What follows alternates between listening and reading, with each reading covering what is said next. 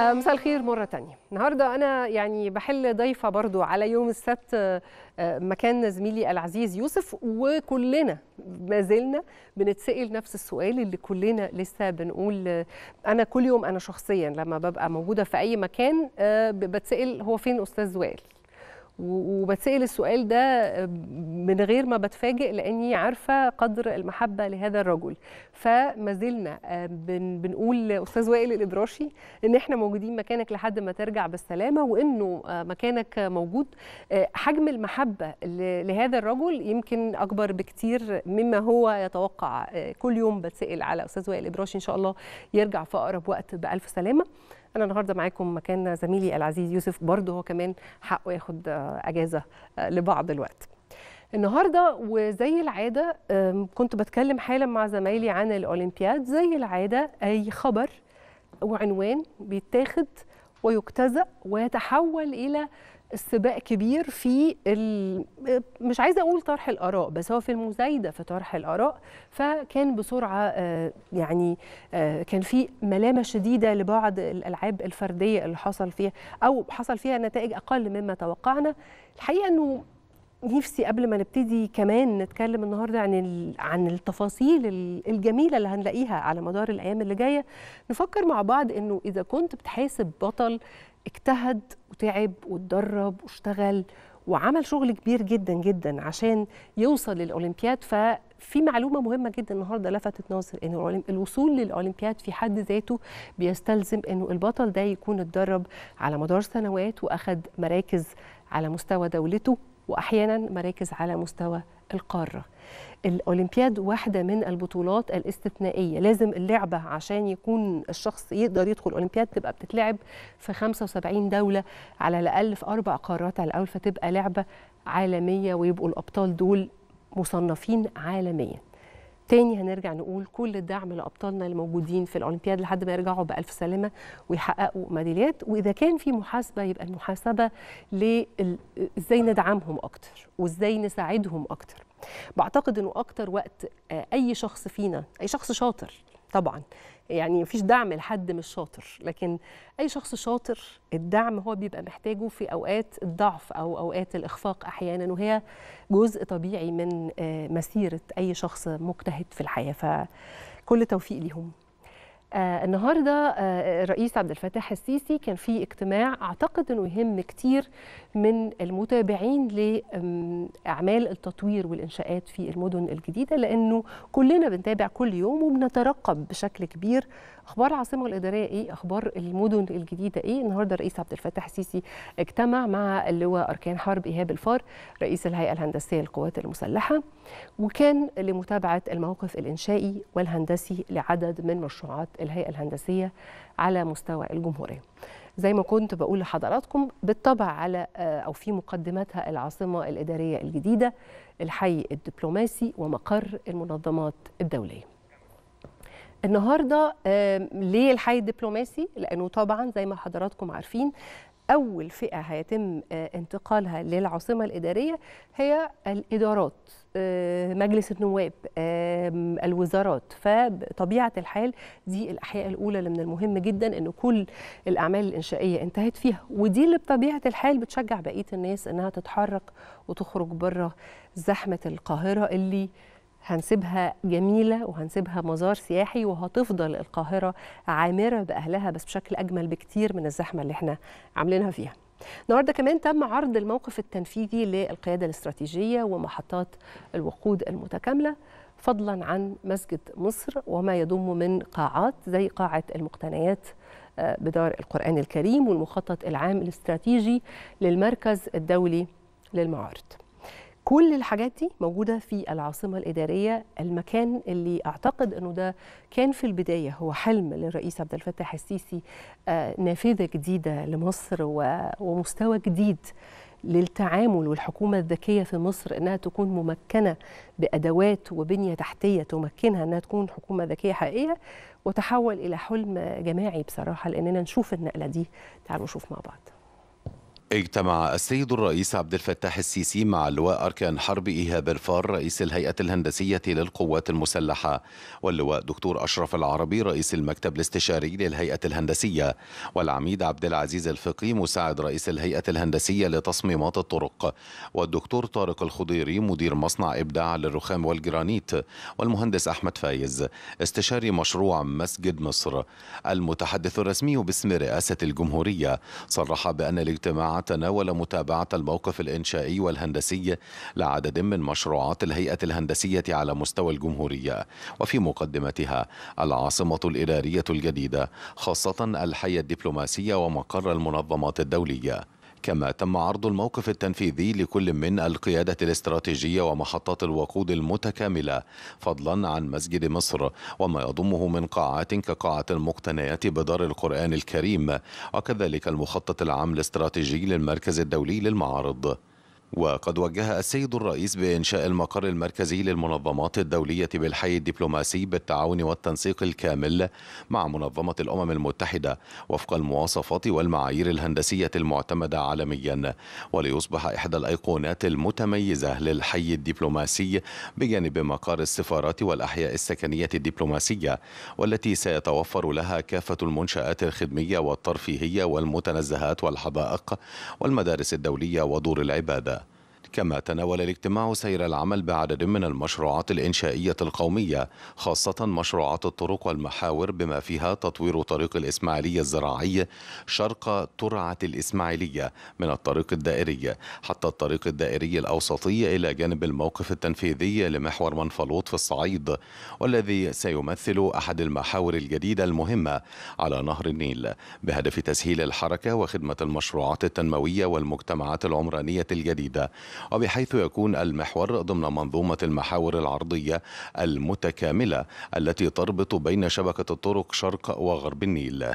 كما تم استعراض سير العمل في جهود ترميم وتجديد مقامات وأضرحة آل البيت خاصة أضرحة السيدة نفيسة والسيدة زينب وسيدنا الحسين حيث وجه السيد الرئيس بأن يتم تطوير هذه الأضرحة بشكل متكامل يشمل الصالات الداخلية بالمساجد وما بها من زخارف معمارية راقية وغنية تماشيا مع الطابع التاريخي والروحاني للأضرحة والمقامات وذلك جنبا إلى جنب الجنب مع تطوير كافة الطرق والميادين والمرافق المحيطة والمؤدية لتلك المواقع.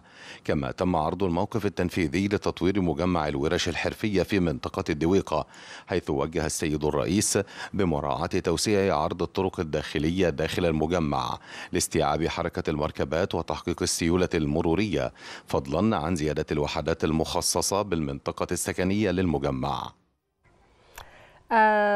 عودة للأولمبياد وإحنا كنا وإحنا بنشوف افتتاح الأولمبياد كان من المنتخبات الجميلة والمبهرة في شكل الزي بتاعها المنتخب أو البعثة التونسية في الأولمبياد. آه وتونس فرحتنا مش بس بالزي الجميل لكن كمان بأول ميدالية عربية للاعب التايكوندو التونسي محمد الجندوبي اللي حصل آه حصد النهارده آه أول ميدالية في أولمبياد طوكيو 2020 بالمناسبة هي هي طوكيو 2020 لأنها مؤجلة من السنة اللي فاتت. آه الجندوبي اللي عمره 19 سنة حصل على الميدالية الفضية بعد خسارته أمام الإيطالي فيتو دياكلا في المباراة النهائية لمنافسات التايكوندو. تأهل بعد فوزه على جانج آه جون أو جانجون بطل كوريا الجنوبية خلال المنافسات اللي كانت آه منعقدة منافسات نصف نهائي للتايكوندو. لوزن أقل من 58 كيلو جرام في اليوم الأول من أولمبياد طوكيو. هتلاقوا إنه كده بسرعة إنه الميداليات بيتم حصدها لإنه في تصفيات بتحصل بشكل دوري في جميع اللعبات. في 2018 الجندوبي فاز بواحدة برضو بميدالية برونزية لوزن 48 كيلو جرام في دورة الألعاب الأولمبية الصيفية للشباب اللي أقيمت في بيونس آيرس في الأرجنتين.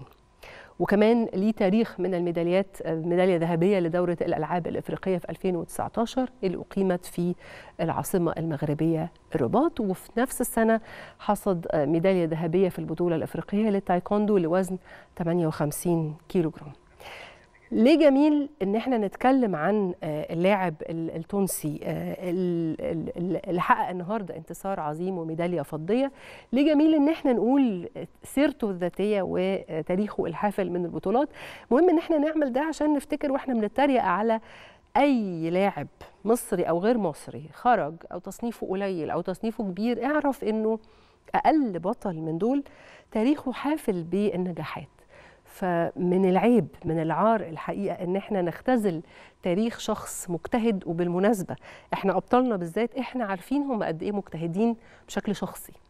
وإنه كل الفضل يرجع لبيوتهم ولعائلاتهم ولأسرهم اللي دعمتهم ووصلتهم لحد الأولمبياد قبل أن يكون فضل كمان طبعا المؤسسات الدولة المختلفة اللي دورها إنها تعمل ده. لكن إحنا عارفين إنه في الألعاب الفردية قد إيه التحدي كبير. لما بقرأ سيرة أو تاريخ لواحد من الأبطال بحس إنه عيب قوي إن إحنا نعنفه أو نتنمر عليه. حملات تنمر شديدة على لاعب أخفق في مرة. الحقيقة هيفضلوا أبطال. وبمناسبة الأبطال إحنا في فريق كده إحنا عارفين إن هم الأبطال بتوعنا إن هو اللي رافعين راسنا طول الوقت لدرجة إنه في فترات هتلاقي إنه في كل انتصار ليهم اللعبة دي تتحول إلى لعبة شعبية والأطفال يحبوا يلعبوها حتى في الشارع. طبعا أنتوا عرفتوا بتكلم عن مين منتخب المصري لكرة اليد اللي حقق النهارده انتصار مهم في مبارياته اللي كانت في افتتاح دورة الألعاب الأولمبية في طوكيو النهارده. النهارده كانت النتيجة بصراحة وقعت قلبنا لأنه النتيجة لحد آخر وقت ما كانتش حسمت كانت 37 31 على نظيره البرتغالي ودي منافسات المجموعة الثانية وبكده الفريق المصري بيتصدر المجموعة. مجموعتنا بقى فيها مين؟ فيها السويد والدنمارك واليابان والبحرين بالإضافة لمصر والبرتغال. أعتقد إنه بتجاوز الفريق الصعب اللي هو البرتغال. يعتبر إنه مصر قريبة جدا من إنها توصل لربع النهائي في البطولة وتتأهل إنها تواجه الدنمارك المباراة اللي جاية يوم الاثنين. بطبيعة الحال اليد السكواش في كده رياضات إحنا عارفين إنها بتاعتنا حبيبتنا يعني. فخلونا نسمع أكتر من المهندس هشام نصر رئيس الاتحاد المصري لكرة اليد. أهلا بحضرتك ومبروك. الله يبارك في حضرتك. مبروك لينا ولمصر كلها. وإن شاء الله نكون زي ما حضرتك قلتي سبب إسعاد للجماهير المصرية وللشعب المصري. لا هو أنتوا دايما بصراحة. أنا كل ما بشوف الفريق بقعد أقول وإحنا ليه ما بنتفرجش على كرة اليد طول السنة؟ آه لكن آه إحنا عايزين بس بمجهوداتكم كده المرة دي بعد ما تحققوا لنا فوز كبير نرجع نخلي اللعبة دي لعبة مصرية شعبية وعدد أكبر من الناس يحبوها. إن شاء الله ده إحنا عندنا هدف كبير للموضوع ده وإن إحنا نوصل بكره اليد إن هي تبقى اللعبة الشعبية الثانية أكيد بذلنا مجهود كبير جدا عشان نوصل للمرحلة اللي إحنا فيها ده ديت. وطبعا ده بمجهود وتخطيط طويل الأجل.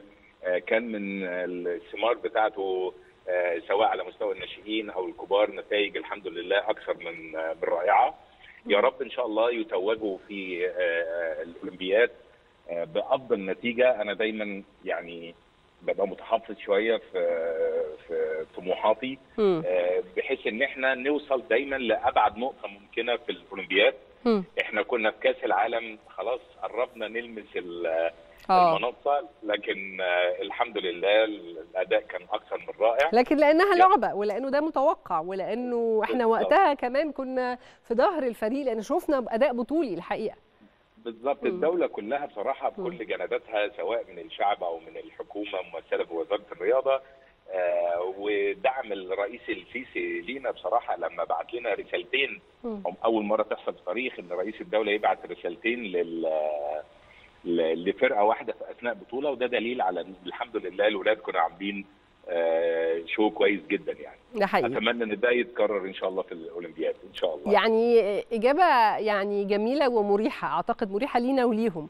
إنه حضرتك بتقول إن إحنا نوصل لأبعد نقطة مش لازم نبقى بنوعد بوعود كبيرة ولو إنه أنتوا قدها. إن شاء الله. إحنا أنا رأيي الشخصي م. إحنا عندنا ثلاث آه محطات آه مهمين. كان من من أخطرهم في الثلاث محطات دول البرتغال آه مثلا؟ البرتغال. ها. البرتغال كان عامل مفاجأة في بطولة أوروبا ومستوى رائع. كونك إنك تكسبهم بهذا الفارق ويعني بالمستوى الرائع. أنا شخصيا كلاعب هاندبول سابق كنت مبسوط جدا من أداء المنتخب. حاجة أكثر من رائعة. فعلا بقى بنلعب كرة. يد حديثة جدا جدا جدا. وده- فالحمد لله وصلنا لهذا المستوى. وده يخليني أسأل حضرتك عن مقابلتنا مع الدنمارك. وإحنا خرجنا آه، من الدور ربع نهائي أمام الدنمارك برضو في كأس العالم. آه، ففي رهبة أو في تخوف ولا لأ. لا إحنا وصلنا بقى لمرحلة في ال في ال في الأداء آه إن ما بقاش عندنا رهبة من الفرق الكبيرة حضرتك شفت ماتش الدنمارك اللي آه. كان في في البطولة وماتش السويد برضو كان دول قمم الفرقتين الوحيدين اللي كسبونا في بطولة كأس العالم هم اللي لعبوا ال final مم. لعبوا final كأس العالم بالظبط. فما بقاش عندنا الرهبة دي الحمد لله لكن إحنا كل مدى وبنتعلم دايما كنا بننصح اللعيبة بتاعتنا إن ركزوا آه، في العشر دقائق الأخيرة ولازم تبذلوا أقصى مجهود دلوقتي النصيحة ما بقتش كده مش مش 10 دقائق ده. الآخر ثانية في المباراة لازم يكون التركيز عالي وكوره واحدة تبعدك عن الميدالية وكوره واحدة هي اللي تقربك. فلازم آه، نسبة التركيز تبقى عالية على طول لغاية آخر دقيقة في المباراة. لكن الثلاث محطات اللي أنا بتكلم عليهم هي البرتغال. واليابان والبحرين. آه. الثلاث ماتشات دول لو كسبناهم ضمننا إن إحنا آه، آه،. نروح للدور اللي بعد كده. لكن. كل ماتش بنكسبه إحنا لو كسبنا اثنين هندخل كرابع. كسبنا ثلاثة نخش كثالث كسبنا أكتر كل ما نطلع في الترتيب بتاع دوري المجموعات لليفل أعلى من الناحية الثانية هتلاقي هتلاعب الفرقة الأضعف. مم. لكن كل ما ترتيبك يتأخر هتلاعب الفرقة الأقوى. بالظبط. فهم الولاد مذاكرين هذا الكلام وأتوقع إن شاء الله إن هم يعني هيبسطوا المصريين. إن شاء الله كالعادة. أنا متأكدة و... وأي نتيجة يحققها رجالتنا في كرة اليد هتبقى زي ما حضرتك قلت نتيجة مفرحة بس إحنا متوقعين لهم حاجة كبيرة المرة دي. بس دكتور هشام بسرعة. عايزة أسأل حضرتك يا باشمهندس على آه، آه، كم في المية من اللاعبين هم اللاعبين اللي كانوا في بطولة العالم لكرة اليد؟ 100% 100% يعني هو نفس الفريق. بس بالمناسبة إحنا حبيناهم وعرفناهم وحفظنا آه. أساميهم ف ده- دول أقل لأن الأولمبياد بيبقى عدد اللاعبين المسجلين 14 لاعب فقط. آه. في كأس العالم بيبقوا 18 ففي أربعة ما راحوش لأن ده السيستم بتاع الأولمبياد. أنت بتروح بعدد أقل. آه بحد حد أقصى في لعيبة كمان آه، اشتركوا في كأس العالم ما راحوش ال- الأولمبياد. لكن البركة. في الموجودين بقى البركة. في فيكم وإن شاء الله تحققوا فوز مستحق بشكرك شكرا جزيلا المهندس هشام نصر رئيس الاتحاد المصري لكرة اليد في ناس كده تفرح بالمناسبة يعني كتير من الأهالي حسوا بغيرة أنتوا عارفين الأهالي دلوقتي اتغيروا إحنا اتغيرنا قوي عن زمان. يعني كان زمان الأهل يقول لك أنا عايز ابني يطلع دكتور ومهندس والكلام القديم ده تغير تماما. في دلوقتي أب وأم يقول لك لا أنا عايز أركز في رياضة وعايز ابني يطلع بطل في رياضة ما. في الأغلب بيبقى عايز يطلع بطل كورة عشان هو شايف إن هو بيكسب كتير. لكن على كل حال في أهالي كتير أو في أولياء أمور كتير شايفين إنه مسار الرياضة في حد ذاته ده نجاح كبير قوي في حياة أي شاب ومعظمهم بيبقوا ناجحين في حياتهم كمان ال- العلمية مش بس في الحياة الرياضية. فاللي كان ملفت جدا إنه فريق كرة اليد كان من الناس الملهمة كده إنه ناس كتير قوي اتشجعت تخلي ولادها يلعبوا هاندبول ويلعبوا كرة يد ويبقوا نفسهم يشوفوهم زي الشباب اللي زي الورد. بصوا عليهم وتابعوهم وشوفوا أخلاقهم حتى في الملعب لا مستوى تاني من الاحتراف والاحترام. كل التوفيق ليهم يعني. اليومين اللي فاتوا قبل ما أقول الموضوع اللي جاي اليومين اللي فاتوا برضو كان في حاجة محبطة قوي لأنه آه، تداول يعني حصل تداول كده لأخبار إنه قد إيه في مجموعة من السائحين كانوا بيتكلموا عن خبرة في التعامل في القاهرة والمشي في شوارع القاهرة قد إيه ما كانتش مريحة. ودي بالمناسبة حقيقة صادمة ومؤسفة ومزعجة لكن لازم نتكلم عنها ولازم نناقشها ولازم نعرف إنها موجودة إنه آه طبعا السائح في تحديات كبيرة جدا لسه قصادنا عشان السائح يعيش تجربة سياحية متكاملة. آه، سمعت كتير جدا آه، وزير السياحه دكتور خالد العيني بيتكلم عن دي عن الموضوع ده عن فكرة تجربة السائح. المسار بتاع القاهرة آه، تجديد القاهرة كله في الذهن أو في ذهن الدولة إنه تبقى تجربة السائح في القاهرة مريحة إنه ما يحتاجش يمشي في شوارع زحمة ويركب مواصلات زحمة إنه يقدر يمشي على رجليه في الشوارع.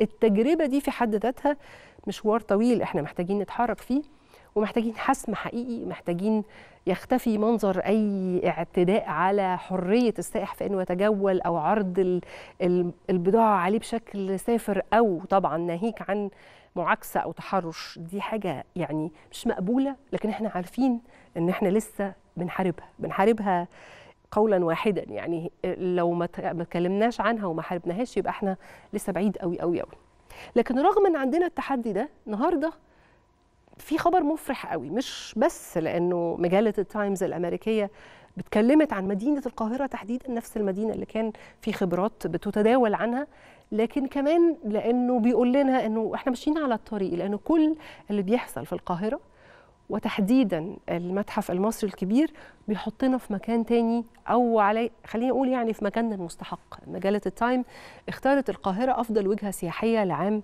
2020 التصنيف ده تصنيف سنوي وهي اختارت القاهرة ضمن أفضل 100 وجهة استثنائية في العالم لسنة 2021 طبعا التصنيف شمل عدة مدن كتيرة معروفة جدا إنها مدن سياحية عريقة زي أثينا وبرلين في ألمانيا كان في فرنسا لاس فيغاس في أمريكا مدريد في إسبانيا ودول غيرها كتير. بالمناسبة الدول دي كلنا عارفين إنه ما فيهاش نص اللي في مصر. لا ما فيهاش نص ربع اللي في القاهرة. القاهرة بحسب التصنيف وكمان جميل عجبني إن هم كاتبين عدد المومياوات اللي ممكن تشوفها في القاهرة. ليه إحنا رشحنا القاهرة؟ عشان المتحف المصري الكبير. بالمناسبة المتحف المصري الكبير اختصاره كده في المجلة GEM أو, أو الجوهرة بس هم طبعا يقصدوا Grand Egyptian ميوزيوم فكرة الافتتاح المنتظر محاطة القاهرة في مكانة أخرى. تخيلوا إن كمان من ضمن الأسباب لاختيار القاهرة ممشى أهل مصر. ممشى أهل مصر لسه لم يتم افتتاحه؟ آه. إحنا كل شغل بنعمله بيتحط في رصيد مصر في العالم مش بس عندنا كمان إحنا كمصريين بنستمتع ببلدنا. اتكلم التصنيف عن فنادق الضيافة رفيعة المستوى وقد إيه في اختيارات متعددة للضيافة وقد إيه إنه الفنادق هنا متميزة. آه الاختيار بيحصل دايما بناء على ترشيحات. والترشيحات بتبقى آه بتحصل كل سنة. مين اللي بيعملها؟ مين اللي بيديهم المعلومات دي؟ أنا بالمناسبة استغربت فعلا إنه ممشى أهل مصر آه بيتكتب عنه وهو قبل افتتاحه. مراسلي المجله من كل أنحاء العالم بيبتدوا يكتبوا عن المدينة ويركزوا على تجارب جديدة ومثيرة في كل واحدة من المدن أو الوجهات. دي ثالث سنة دي برضو لمعلوماتنا يعني. دي ثالث سنة المجلة بتعمل فيها قائمة أفضل الأماكن في العالم وعملتها كتكريم للقائمين على صناعة السياحة والسفر في كل بلاد العالم وتحديدا لأنه في ظروف استثنائية في العالم بقالنا سنوات. القدرة على التكيف القدرة على البناء رغم الظروف الصعبة وظروف فيروس كورونا. وكمان عندهم معيار مهم جدا هو إنه يقول لك فين في إبداع فين في محاولات لترويج. وده الحقيقة إحنا مش محتاجين قوي نفتكره في مصر لكن محتاجين كمان نتأكد من تفاصيله. خلينا نسأل الأستاذ عبد الفتاح العاصي مساعد وزير السياحة لشؤون المنشآت الفندقية. أهلا بحضرتك. أهلا بيك أستاذة دينا. أستاذ عبد الفتاح يعني يمكن التصنيف ده يخلينا مباشرة نسأل إيه أكتر حاجة حضرتك شفت إنها خدمت القاهرة في هذا التصنيف؟ هل المنشآت الفندقية ولا المتحف المصري؟ وإيه إيه بالظبط الجديد اللي خلانا السنة دي في أفضل 100 وجهة سياحية؟ وحضرتك يعني تفضلت مشكورة في إنك ذكرت حاجات كتير جدا جدا من الأسباب اللي هو كان أسباب رئيسية في اختيار القاهرة. حضرتك سردتيها بطريقة يعني شايفها جدا والناس تعرفها. مشاريع كبيرة جدا اتعملت الفترة اللي فاتت. وزارة السياحة والآثار طبعا من ضمن الوزارتين الاثنين بيخدموا على بعض. إحنا شفنا طبعا افتتاح متحف الحضارة والحفل الأسطوري اللي كل العالم اتكلم عليه. آه حضرتك ممشى أهل مصر حضرتك بتتكلم عليه لسه ما كملش فعلا. آه. لكن حاجة مشرفة جدا على أعلى مستوى. في برضو طب أنا عايز أسأل حضرتك سؤال من زاوية تانية. هو إحنا إزاي ما كناش في قائمة 100 وجهة سياحية؟ هل ما كن يعني إزاي القاهرة مش في أفضل الوجهات؟ أنا بعرف انه طول الوقت بتبقى المدن الساحلية في مصر هي الأكثر حظا. بس ليه القاهرة دايما إحنا بنفرح قوي بالمناسبة لما بتاخد هذا التصنيف؟ لأنه دايما مظلومة. طبعا ما أنت حضرتك برضه ذكرتي هذا الكلام. يعني حضرتك قلت إن كان في تحديات كبيرة في القاهرة في الفترة الماضية. صعبة جدا. يعني إحنا عندنا النهارده شايفين التطور والنهضه اللي حاصلة في مصر عموما وبالذات في القاهرة وحركة المرور تحسن حركة المرور آه، الفنادق اللي عندنا اللي مستواها اتحسن جدا في الفترة الأخيرة. آه، استغلينا الفترة فترة توقف الحركة وبدأت الفنادق تطور نفسها وتعمل تجديدات. آه، افتتاح أماكن فنادق كبيرة لشركات عالمية كبيرة جدا آه، على مستوى العالم. ف التصنيف ده مؤثر؟ المشاكل لحد ما اللي كانت موجودة في القاهرة بدأت تختفي ونتمنى نتمنى. إن إحنا نمشي في هذا الطريق لحد ما تختفي نهائيا يعني نتمنى ذلك لحد ما مشاكلنا إحنا الشخصية تختفي بقى إحنا لسه عندنا طبعاً. مشاكل إنسانية لازم تخلص يعني آه، أكيد. لكن عايز أسأل حضرتك بسرعة جدا هل ده بيأثر فعلا على حركة السياحة يعني هل تصنيف ده آه، ذي يعني ذو ثقل ممكن يأثر على حجوزات أكتر زي ما شفنا مثلا بعد موكب أيوة. المومياوات طبعا أكيد أكيد ده حافز قوي جدا لكل الدول المصدرة للسياحة في العالم إن هو آه، يتوجه لوجهة آه، تم الإشارة إليها من خلال مجلة عالمية بإن ده بيدي اطمئنان للدول دي أو للمصدرين للسياحة الناس اللي بتشتغل في هذا المجال إن هو يكون عنده ثقة في المكان اللي هو يدي فيه السائح والقاهرة برضو زي ما حضرتك برضو ذكرتي آه، يعني عامرة بال- بالمزارات كبيرة جدا في مصر. عندنا أنواع كثيره السياحة الثقافية والأثرية عندنا الهرم وعندنا سفنكس وعندنا أماكن كثيره جدا في القاهرة السائح بيتمتع بيها. بالإضافة إلى إن النهارده القاهرة وجه, القاهرة اتغير. كلنا ملاحظين إن في تغيير كبير جدا في القاهرة في جميع ال- ال- المحافل. يعني حتى لسه كنا آه، سامعين دلوقتي سيادة الرئيس آه، بيدي توجيهات تطوير الأماكن القديمة زي الحسين والسيدة لطيفة والسيدة زينب. آه. كل الأماكن دي السائح بيروحها يقعد فيها فكون. إن هو يلاقي في مستوى راقي ده حاجة كويسة جدا. جدا. أنا بشكر حضرتك شكرا جزيلا. الأستاذ عبد الفتاح العاصي مساعد وزير السياحة لشؤون المنشآت الفندقية. كل الشكر لحضرتك. إحنا آه، بنحتفي بأي إنجاز آه، يحسب لمصر لكن ما بندفنش راسنا في الرمل. وما بنقولش الله ده إحنا ما حصلناش. لا إحنا بصراحة ما حصلناش. هي مصر إحنا عندنا ميراث ما حصلش في العالم كله. وأي حد فينا بيروح أي بلد في الدنيا بيقول ده ولا يجي ربع اللي عندنا في بلدنا. لكن التحديات لا لسه كبيره تحدي الشارع ده مسؤولية وزارة السياحة والآثار وزارة الداخلية وزارة الثقافة بالمناسبة لأنه ثقافة الناس دي لازم تتغير الإعلام كلنا. اللي بيحصل في الشارع من معاملة السائح سؤال كبير أعتقد أو أتمنى إنه يبقى عندنا الوقت وعندنا الجرأة إن إحنا نناقشه. بعد الفاصل نكمل مع حضراتكم التاسع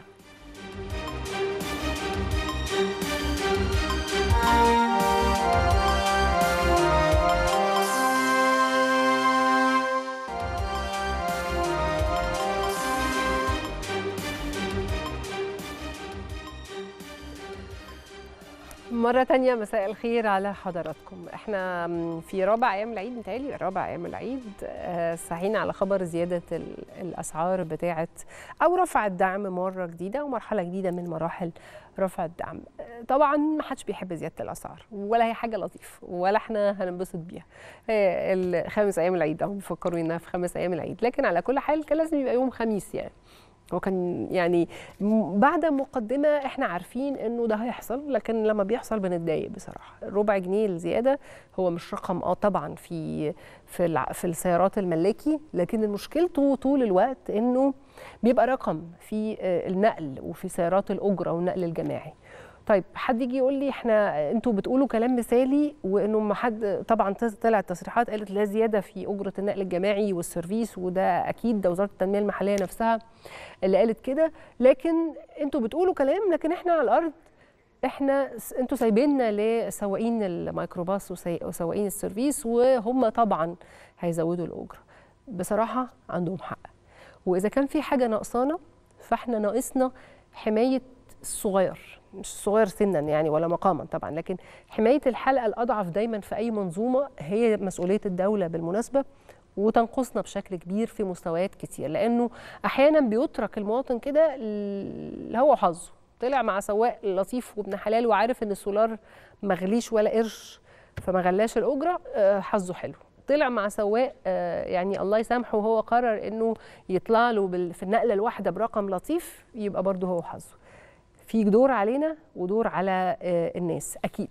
لكن خلونا نسأل آه، صاحب الشأن بقى نسأل آه، دكتور خالد قاسم المتحدث باسم وزارة التنمية المحلية ونشوف هو وزارة التنمية المحلية ممكن تساعدنا في الموضوع ده. مساء الخير اولا. أهلا وسهلا. مساء الخير على حضرتك يا فندم وعلى أهلنا في محافظات مصر كلها. أنا عارفة وزارة التنمية المحلية وراها إيه؟ قادرة أتخيل. وقادرة أتخيل حجم الالتزامات اللي عندكم وحجم التحديات. سؤالي بس المنطقي والبسيط. لما الوزارة قالت لنا إنه مفيش زيادة في الأسعار إزاي الوزارة بتتأكد إنه مفيش زيادة في الأسعار؟ يعني خليني أقول لحضرتك يعني منذ صباح أمس الجمعة وعقب الإعلان عن الزيادة اللي هي طبعا 25 قرش بالنسبة للمنتجات البترولية أما فيما يتعلق بأسعار السولار لم يتم المساس بيها مع الوزير اللي هو محمود شعراوي وزير التنمية المحلية تواصل مع السادة المحافظين وكان هناك تأكيد على تكثيف حملات متابعة المواقف والتأكد من التزام السادة السائقين بالتعريفة المحددة والمسارات المقررة والتأكيد على ده بالتنسيق مع مديريات الأمن والإدارات العامة للمرور سواء على مستوى المواقف أو السيرفيس كذلك الأمر الساحات والتعامل بكل الحزم والحسم مع أي مخالفات. وده اللي رصدته ويعني الوزارة من خلال غرفة عمليات وزارة التنمية المحلية مع غرف الأزمات والعمليات في المحافظات المصرية بالفعل أمس واليوم السادة المحافظين والسادة السكرتير عموم ورؤساء المراكز والمدن والأحياء تم المرور والتأكد من عدم الإضرار بالمواطنين واتخاذ كل الإجراءات القانونية تجاه المخالفين. وعليه لم يصلنا حتى الآن شكوى بتقول إن حد غلى أو حد حاول إنه يقسم خطوط السير علشان إلى رحلتين أو أو أو ثلاث رحلات مثلا وبالتالي ياخد الأجرة مرتين أو ثلاث مرات مثلا. ده ما حصلش. وعلشان كده مع الوزير أكد في تواصله مع غرفة العمليات بالوزاره بالمتابعة المستمرة مع غرف الأزمات والعمليات للتأكد من ثبات أسعار تعريفة الركوب للمواطنين بالمحافظات. حلو قوي، طيب أنا هسأل حضرتك سؤال. مواطن عنده مم. شكوى مم.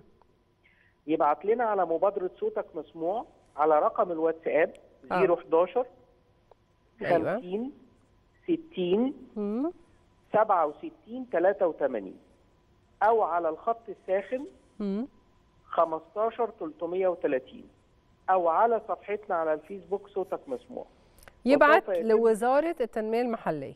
بالظبط يا فندم. وسوف يتم التدخل مباشرة من خلال إن إحنا في غرفة عمليات صوتك مسموع رابطين مع 27 غرفة عمليات لصوتك مسموع. على مستوى المحافظات يرأس كل غرفة عمليات في كل محافظة السيد السكرتير العام للمحافظة. وبالتالي التدخل بيكون سريع. طيب. إن شاء الله. طب أفهم بس بالراحة. أنا دلوقتي بعت اولا لم يصلنا شكوى في حد ذاتها.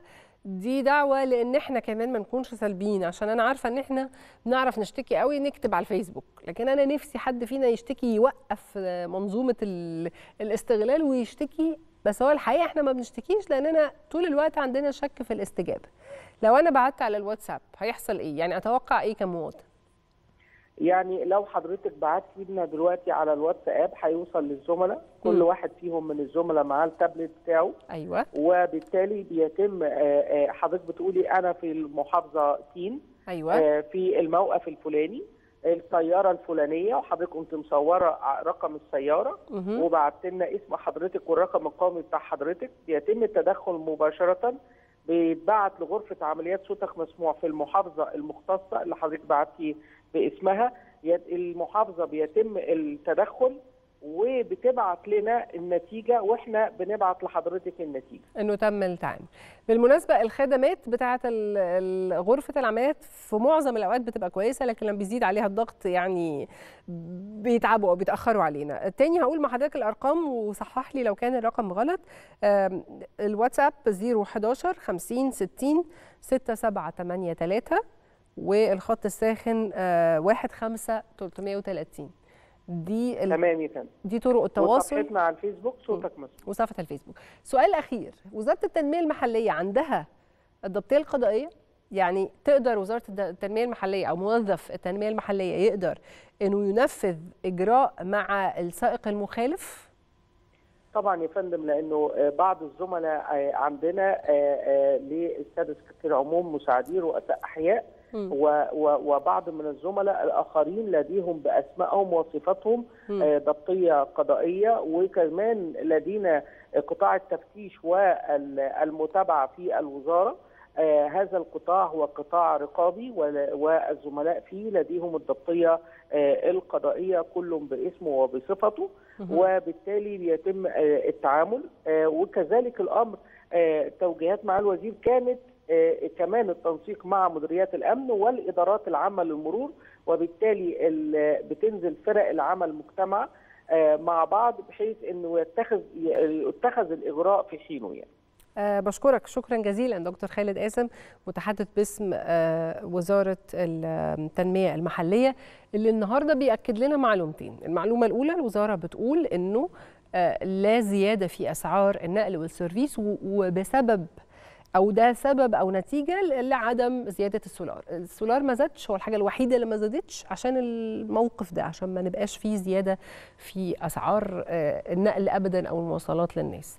الدور الثاني إنه لازم وزارة التنمية المحلية تتابع إنه ده حصل. الوزارة النهارده بتقول لنا إن عندنا كل الآليات لمتابعة إن ما حدش يخترق. فاضل حاجة صغيرة قوي والحاجة الصغيرة دي يعني أنا شخصيا في حياتي فرقت معايا جدا.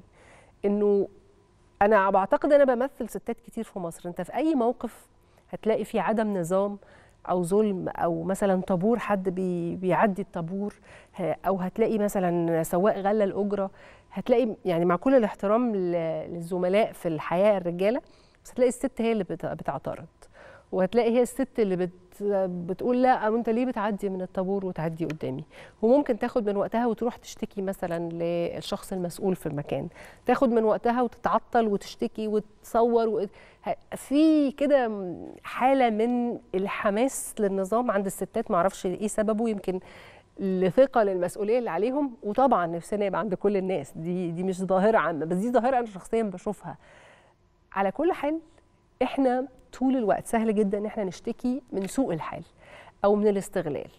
الاستغلال مفيش حاجة هتوقفه غير شخص أو مواطن واعي واعي لحقه.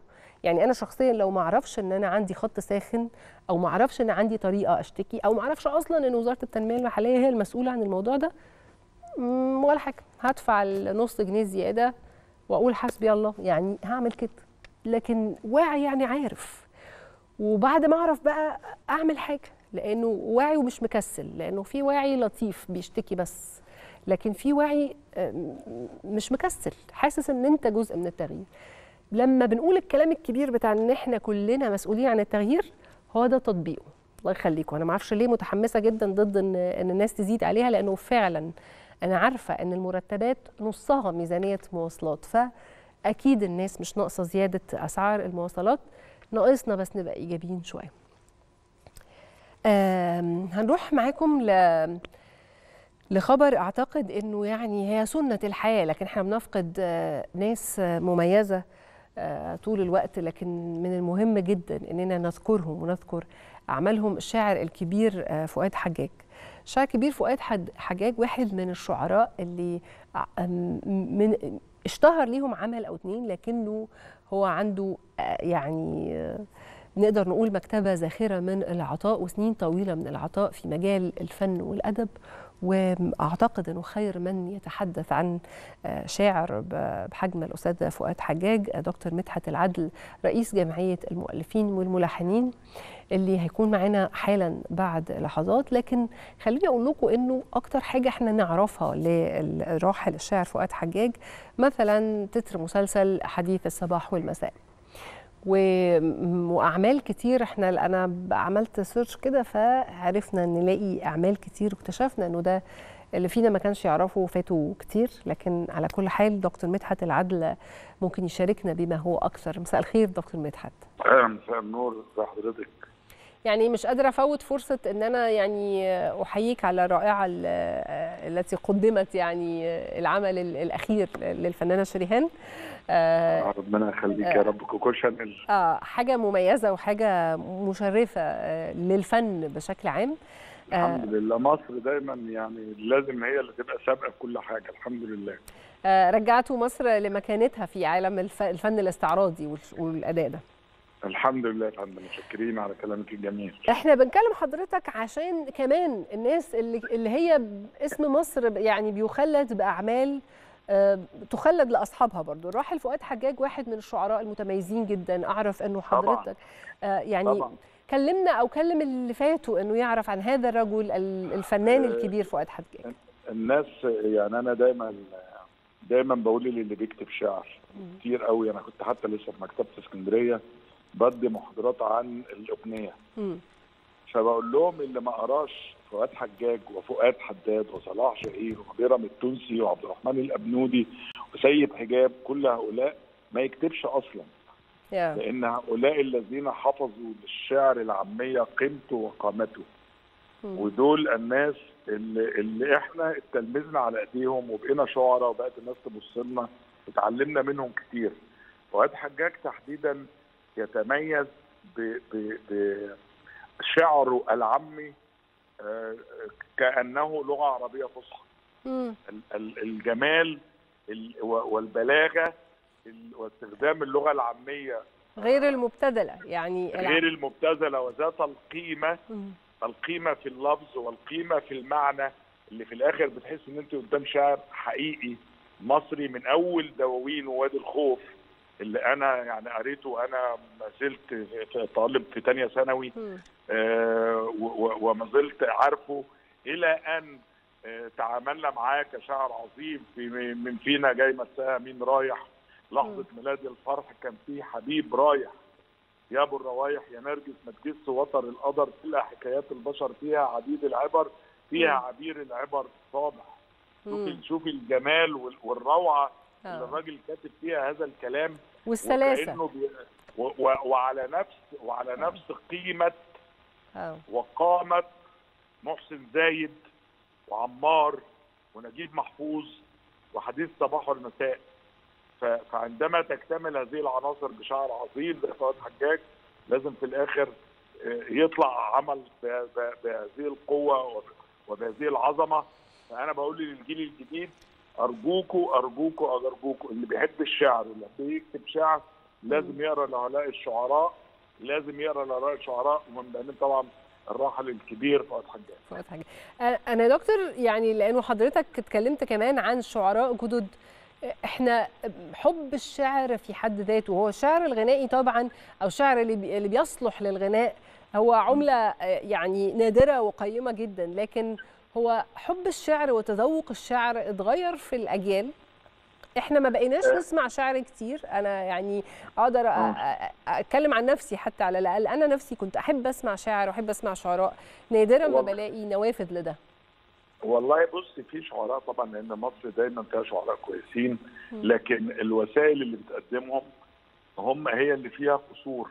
يعني الناس أصلا أنا دوري أنا ما كنت بعمل برنامج أنا كنت بقدم شعراء جديد شعراء صغيرين وبجيب شعراء من الصعيد كل ده مهم جدا علشان أعرف أطلع شعر لأن مصر مليانة شعراء في مصطفى إبراهيم شاعر عظيم من اسكندرية إحنا عرفناه من خلال الفيسبوك محدش يعرفه. إحنا عرفناه لا في شعراء كويسين بس برنامج زي حضرتك متشاف لازم تدوري وتجيبي لأن إحنا ما نقدرش نقول إن ما فيش شعراء كبار ما نقدرش نقول كده. ابدا. في شعراء محتاجين الوقت ومحتاجين النافذة اللي يطلوا منها على مصر لأن مصر طول عمري بقول مصر فيها أم كلثوم بس إحنا مش عارفين ندور عليه. مصر فيها عبد الحليم وإحنا مش عارفين نجيبه وهكذا.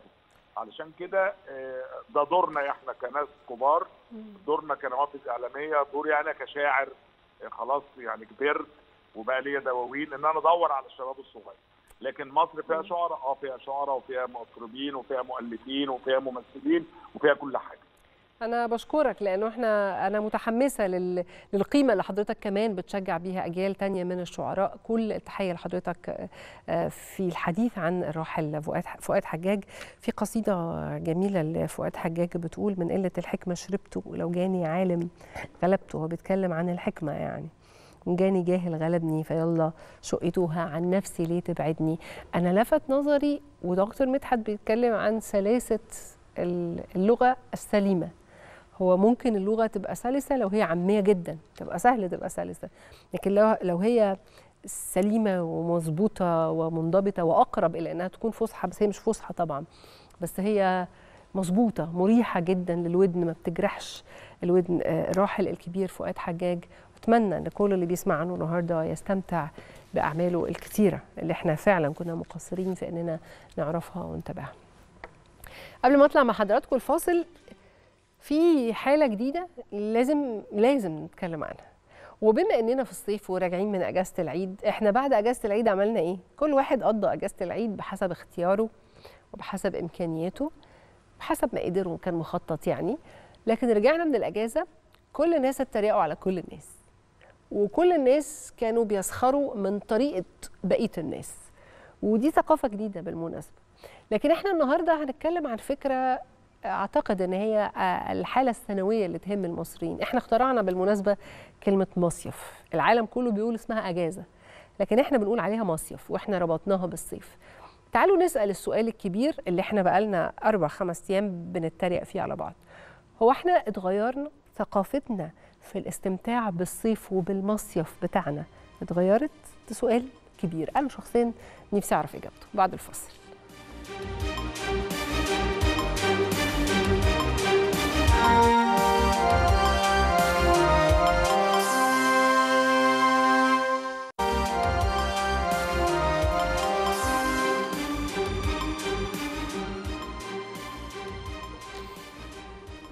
مساء الخير على حضراتكم مرة تانية. في قول بيعجبني جدا بيقول كده أنه أتى فيه الوقت الذي يسخر الناس فيه من العقلاء لأنهم يقولون لهم الحق ويقولون عنهم أنهم مجانين فقط لأنهم مختلفون.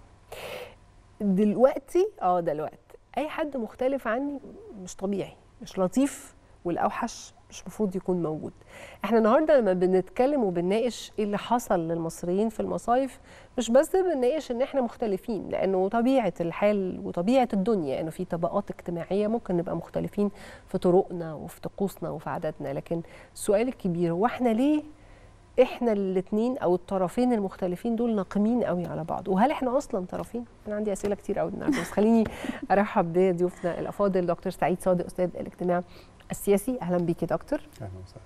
والأستاذة داليا عاصم الكاتبة والباحثة المتخصصة في تراث مدينة الإسكندرية وتاريخها الاجتماعي أهلا بيك يا أستاذة ده ده أنت يعني أكتر حد محتاجين نسمع النهارده منك عن إسكندرية. دايما لقائك أهلا بيك يا دكتور. أنا هبدأ مع دكتور سعيد لأن أنا عايزة أسأل حضرتك من الزاوية الاجتماعية. إحنا النهارده مش بنناقش يا الناس بتعمل إيه؟ مش عايزين نقع في الفخ ده. فلو وقعت حذروني طيب. مش عايزة ابدا ابقى زي الحاجة اللي مضايقاني. أنا شايفة إنه ناس بتتريق على بعض. وفي صور منتشرة على الفيسبوك آه دول الحلوين ودول الوحشين دول العشوائيين ودول الشيك الحقيقة إنه عايزة أسأل حضرتك عن التركيبة الاجتماعية للمصريين. هل اختلفت في ما بعد الثوره سنين ما بعد الثورة أو ما يعني في في العشر سنين الأخيرة هل تركيبتنا الاجتماعية اتغيرت؟ لا هي اتغيرت من فترة طويلة جدا. يعني. عندي آه يعني ترجع أيام قبل 52 كان في مصايف آه بس ما كانش في استقطاب طبقي بالدرجة ديت. وما كانش في كمان تطلعات أو نظرات عدوانية بين الطبقات أو ده بينتقد ده والتاني بينتقد التاني. ما كانوش بيشوفوا سلوكيات بعض وكان دايما في نوع من الحرص محدش يتعدى الطبقة بتاعته ويعمل اشتباكات أو يعمل حاجة. م. في العصر الحالي الوضع اتغير. في عصر الإنترنت كل الناس بتشوف كل بعض. الخصائص الاجتماعية والثقافية والسياسية لمكونات المجتمع المصري اتغيرت. فبقوا كله عايز يبقى زعيم كله بيتكلم. آه، يعني أنا عندي مليون شيخ أزهر مش مش شيخ آه. واحد بس. عندي مليون خبير حربي وزير دفاع. يعني كله زعيم سياسي. يعني آه حضرتك زعلان من الفيسبوك أنا. فانت ما هو ده طب ال- الفيسبوك جزء من ال- التغيير في الجغرافيا الاجتماعية بتاعتنا؟ ب ب ب طبعا. اولا آه، عندك مصريين طلعوا في السبعينات للدول العربية جابوا فلوس فبقى عنده تطلعات فابتدى المصايف التقليدية ما بقتش تنفع. مم. آه، آه، لأن بقينا نشوف بعض. فجأة أنا شاطئ عايدة اللي في المنتزه مثلا مم. وجنبيه شواطئ تانية فقيرة آه، تلاقي ناس ليتست بيكيني وأكلات وناس مبسوطة وعربيات وجنبيها ناس غلابة وقاعدين والشاطئ زحمة وكله ملزق في بعضه مم. وحلال المحشي والبتاعات جاية فعاملة ف... فالتانيين عايزين يطلعوا آه. عشان كده قال لك نعمل كومباوندات فابتدوا يطلعوا من من المصايف التقليدية لأول مرة ابتدينا نطلع على الساحل الشمالي مم. أنا كنت رايح الساحل الشمالي في السبعينات صحراء هو مفيش كان حد. ممكن أحط خيمة في أي حتة وأقعد وأعوم وتاني مروح. مفيش مشكلة دلوقتي اتملى كومباوندات آه.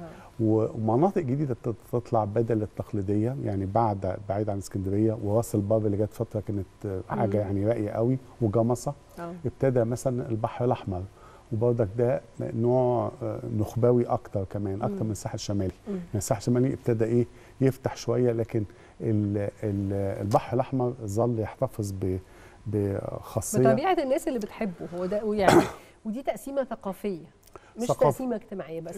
ثقافية واجتماعية وطبقية لأن الأسعار كمان مش طبيعية. آه. يعني إحنا بتكلمي الساعة بالمل- بأسعار مش طبيعية. آه. يعني لا يمكن تخلي عشان كده يقول لك طب ما أنا أروح آه، مش عارف آه، قبرص ولا اليونان ولا بتاع بدل ما أدفع المبالغ دي. وعايزة أقول لحضرتك إنه دي حاجة لازم ننتبه لها ونخاف منها لأنه إذا كنا بنقول إنه السياحة الداخلية بتبقى الملاذ لمصر في أوقات الأزمات في السياحة فأعتقد إنه قريبا سيهجر الناس الساحل الشمالي ويفكروا في البدائل ال- اللي بنفس السعر بالمناسبة. انت خلي. بالك الطبقات عندي الطبقة العليا كانت دايما يا إما تسافر في أوروبا في الصيف واخدة بالك سويسرا و... واوروبا بتعمل عروض عظيمة ورخيصة. ويهيص.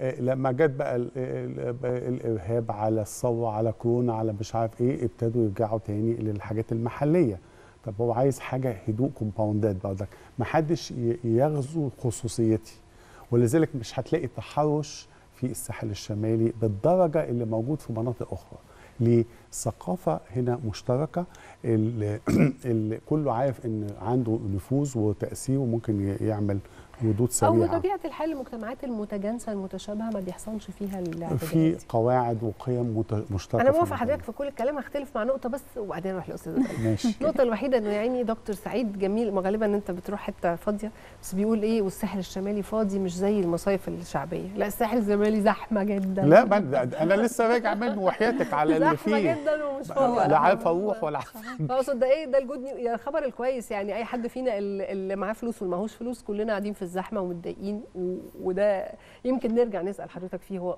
هو مفهوم الأجازة هو المفروض يكون الزخم ده والدوشة دي ولا لأ؟ طب أستاذة داليا بما إن حضرتك من اسكندرية فمفيش سؤال يعلو فوق سؤال عاملين إيه؟ آه، طبعا اسكندرية كالعادة هي. زحمة. يعني هي لا اسكندرية طبعا هي المصيف له رونق خاص له نوستالجيا خاصة كل الناس يعني اعتادت أهاليها مم. ويعني الجدة والجد والكلام ده مرتبطين بيها عاطفيا.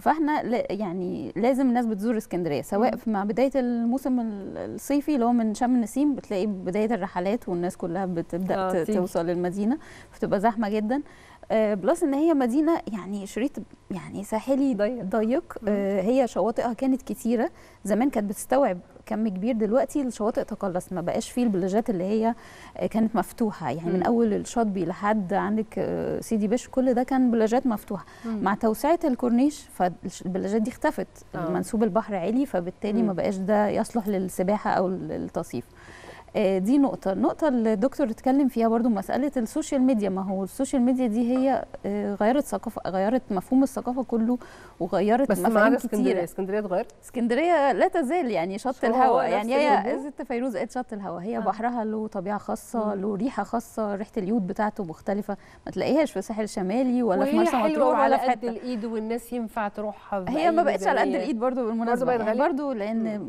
يعني تكلفة إن انت تقيمي في مكان أو إن انت تقعدي تقعدي وت- وتقدري تستمتعي وعوامل ثقافة اللي هو اقتصاد الرفاه. يعني أنا عايزة أروح مصيف بس عايز أبقى لابس آه، أحسن brand وعايزة أبقى واصل أصور صورة حلوة أحطها على ال social media. ما هو آه. ما بقتش بستمتع حاجة خاصة بيا أنا لا ده أنا بستمتع عشان أعمل عشان إيه show الآخرين. واتباهى قدام الناس. آه. فبدأ إن أنا بعمل load على ميزانية الأسرة. ببدأ أجهز للمصيف قبلها بكام شهر أشتري حاجات الساحل الشمالي وهختار المكان مش عشان أنا أتبسط فيه لا لا, لا عشان أوصل. أعمل tag إن أنا في المكان الفلاني دي مشكلة دي بس مشكلة دي ثقافه. الساحل مش ثقافة اسكندرية. ما هي مش ثقافة اسكندرية. اسكندرية لسه ثقافة. اسكندرية الاسكندرانية نفسهم ما, ما هم ما بيقضوش الصيف في اسكندرية.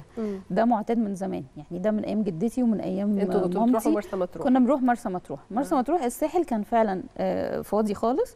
على حسب الحكايات يعني لأنه طبعا كان كمان already الساحل كان كله ألغام يعني كانت مم. منطقة العلمين الحرب العالمية الثانية آه. كانت منطقة ألغام ما كانش ينفع حد يقيم فيها غير. البدو أهل ال- المنطقة. آه، مع نهاية الثمانينات بدأ الساحل الشمالي تعميره بغ- بغرض إن إحنا نجيب سياحة آه، الناس ال- الطبقة الراقية بدل ما تسافر بره مصر وتصرف فلوسها بره فاحنا نجيبهم في الساحل الشمالي أحسن بحر طبعا ولون آه، خطير يعني صدقيني يا أستاذة فكرة؟ قابليني كده بعد سنتين صدقيني الناس الفكرة إنه الناس فعلا بدأ. فعلا وعلى فكرة حضرتك بتقولي. ظاهرة فعلا بدأت لأنه بعض الأصدقاء ليا برضو بدأوا يسافروا بره مصر مم. بنفس الميزانية اللي هي بتصرف في الساحل الشمالي في للأسف. أسبوع مم. فهنا دي مشكلة تانية ان الغرض الرئيسي من إنشاء ال- الساحل الشمالي جهاز تعمير الساحل الشمالي ده آه، الغرض ده بدأ يفقد بالظبط. هيرجع تاني إن شاء الله بعد مدينة العالمين الجديدة هتبقى مش بالفعل مدينة موسمية. لكن لكن نرجع لسؤالنا هل بصراحة كده. أنتوا الإسكندرانية متضايقين من الناس اللي جاية تصيف في اسكندرية وشايفين إن دول عبء على ال- المدينة؟ وكل عبارات التأفف اللي إحنا بنشوفها على ال social media دي حقيقية؟ دي حقيقية طبعا وموجودة من قبل ال social media بتبقى طبعا لأن انت الاسكندريه يعني بتعمل كده في شعور الواحد بي- بيتملكه إن اسكندرية دي خاصة بينا إحنا وإن إحنا لينا يعني امتياز قوي إن أنت عايشة على البحر وفي مكان له حضارة وله تاريخ ومتأثرة بتشوفيه في كل حتة قدامك actually بس المشكلة آه، ما بقتش في, في يعني دي مش مش حاجة خاصه يعني أي شعب أي أي sorry مش شعب يعني أي سكان مدينة مهم. لما بيحصل عندهم آه، ازدحام وارتباك وحوادث ومشاكل بسبب ثقافة مختلفة فبالتالي بيبدأ يضايقهم الموضوع ده. مش إن في نظرة فوقية. لا ده مش موجود لأن طبعا في ولا عايزة تقولي مثلا للمصطفين شوية آه، اعتبارات يخلوا بالهم منها لما يجوا بالظبط اسكندرية. ما هي مشكلة بعد طبعا. الفاصل. آه. okay. طيب إحنا هنرجع نكمل كلامنا تاني. إحنا بنفكر نفسنا.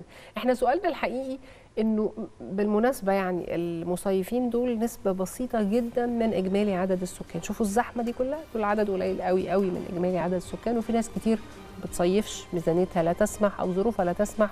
دول موجودين بالمناسبة. فعشان نختزل المصريين في إنه كلهم دلوقتي في المصيف. لكن هنرجع نسأل السؤال المهم لسلامتنا سلامتنا النفسية. وإحنا بنروح نصيف ليه؟ عشان نبقى آه، ترندي وفاشنبل زي الناس بتوع الساحل. ولا عشان نعمل زحمة وقلق وتصرفات لا تليق على فكرة غير حضارية زي ما بيحصل في بعض المصايف. فعندنا لسه أسئلة كبير عن كتيره عن تركيبتنا النفسية والاجتماعية وإزاي ممكن عيلة تنجو بنفسها من الهوس العام بتاع المصايف اللي بيحصل كل سنة.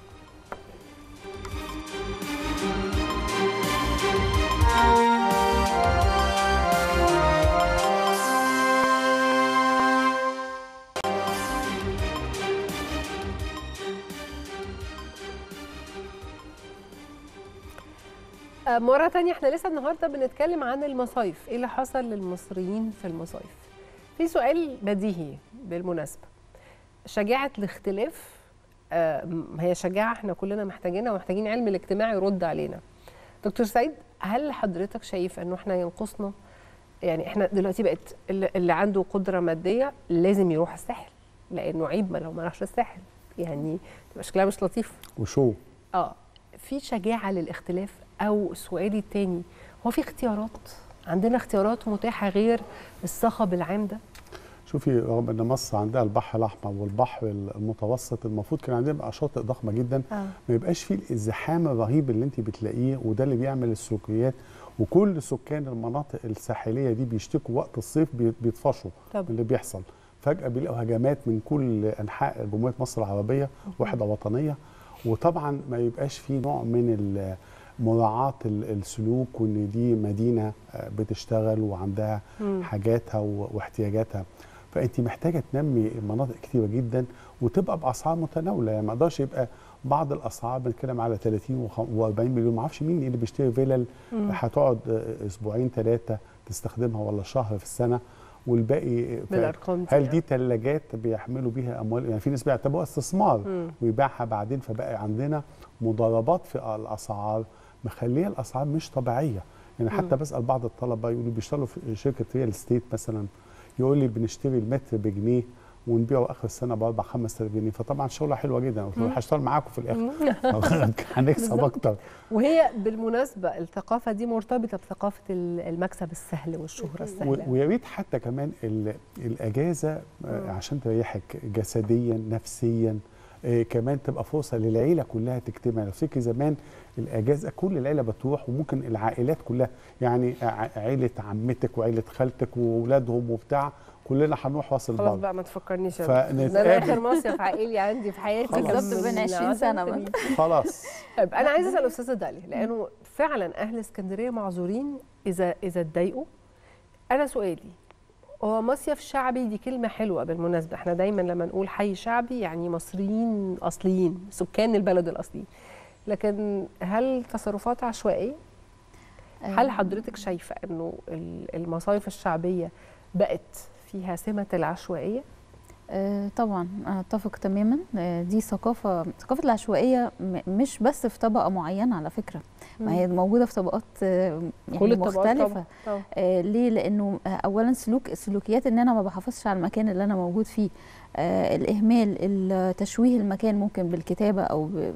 وده بين مع الطبقة الفقيرة والطبقه الغنية لأنه الطبقة الغنية مثلا ممكن يرسم جرافيتي على مكان وهو مش من حقه إنه يرسم بالظبط. في المكان ده مثلا أو هيشوه أو يعلي صوته أو يعمل بيعلي صوته أو. بيستخدم سيارته الفارهة للاستعراض فيبدأ ممكن يخبط آه، طفل مثلا أو يعمل مشكلة يعني السلوك العشوائي في المصايف آه، يخص الكل. يخص طبقة معينة على مم. فكرة لأنه آه، يعني أصل هي في النهاية يعني الت- التقسيم ده كان موجود من قديم الأزل يعني ده موجود من أيام حتى الملك مم. كان في مصايف يعني شواطئ للطبقة الراقية ودي كانت موجودة الملك لما كان بينقل ال- الحكومة في الصيف في اسكندرية. كان الشهر سبعة وثمانية الحكومة موجودة في اسكندرية مهم. وهو موجود في قصر المنتزه في كل الطبقات الشعب بت- بتصيف وفي انسجام تام ما فيش ال gap دي ال gap دي حصلت آه، زي ما دكتور ذكر في الأول ثقافة ال compound أو بنسميها في علم الاجتماع آه، المدن المسيجة.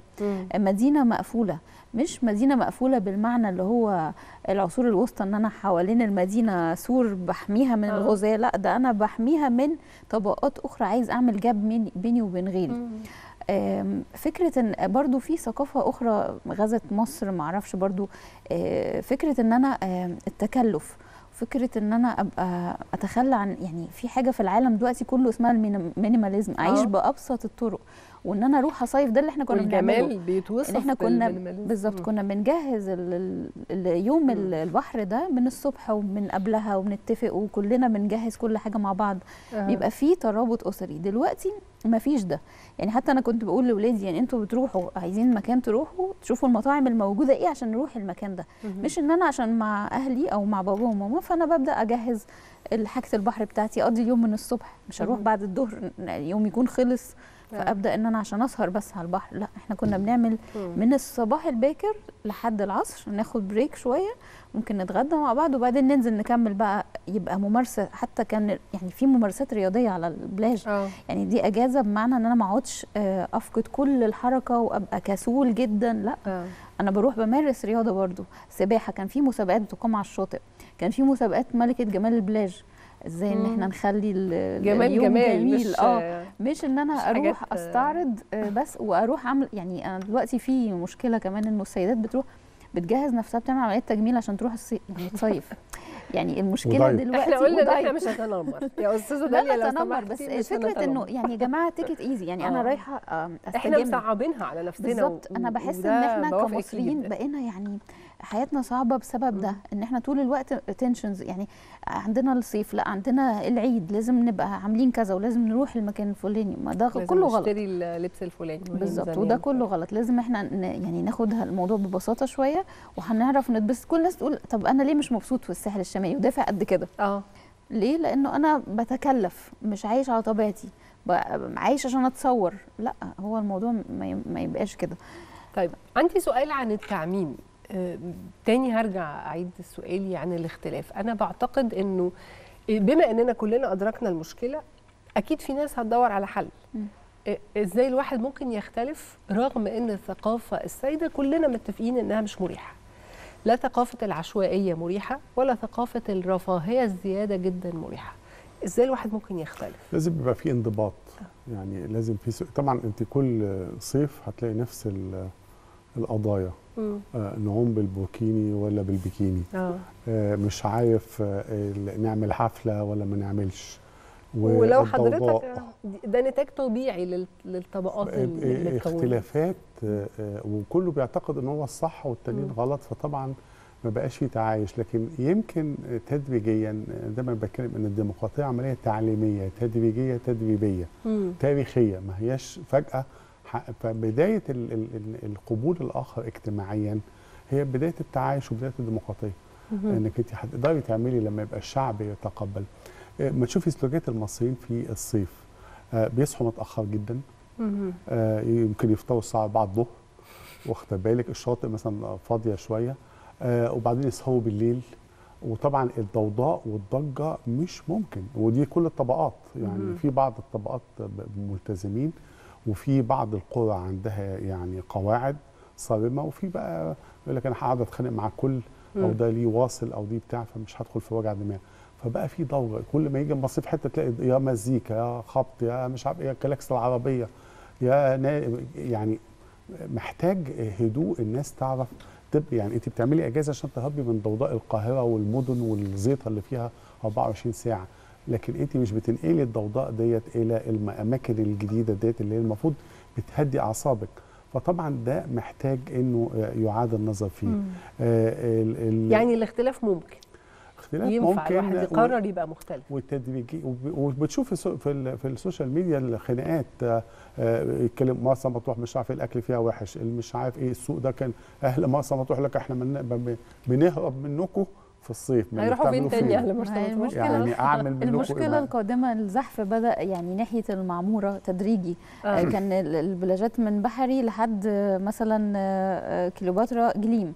آه، من بعدها بدأ الزحف التدريجي لحد المعمورة بقت compound مقفول علشان خصوصية البعض ومنهم الفنانين طبعا مشهورين جدا كان آه، مح- محمود ياسين آه، شهيرة فريد آه. شوقي طبعا سعاد. حسني كان الناس ممكن تروح البحر علشان نشوف بس الفنانين دول مم. وكان في خصوصية لما بدأ الزحام شديد بقت رحلات ال- اليوم الواحد برضو تروح المعمورة ويبدأ هجوم وسلوكيات خاطئة من البعض فبدأ الزحف يوصل الناحية الثانية غرب المدينة العجمي الهانوفيل وبدأنا مراقية كانت أول قرية.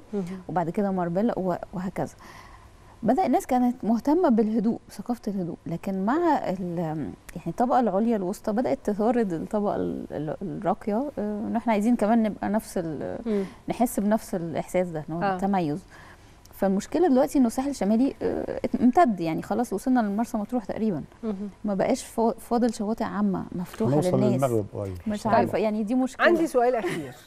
بما إنه أصل في طبقة كده عمالة تتهرس بينا.